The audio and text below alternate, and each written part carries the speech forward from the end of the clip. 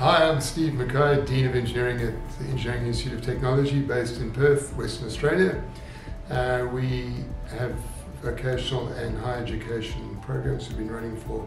30 years and we've got about 6,000 students last year, um, 2023.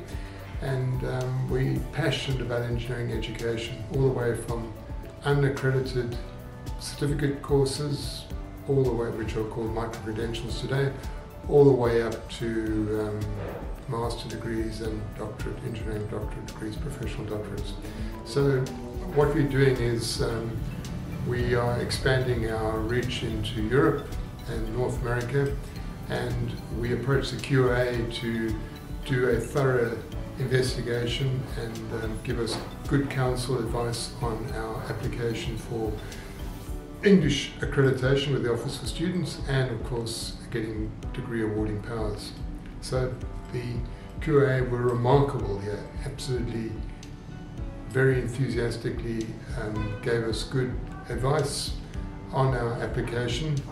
which required a lot of discussions, a lot of animated discussions, but the QAA there were there giving us good counsel,